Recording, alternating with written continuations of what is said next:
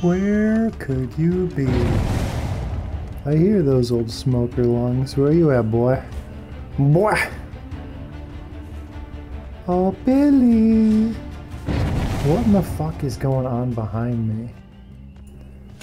oh my god, it's a baby Dwight! Alright, not too, too sure what the plan was on that one.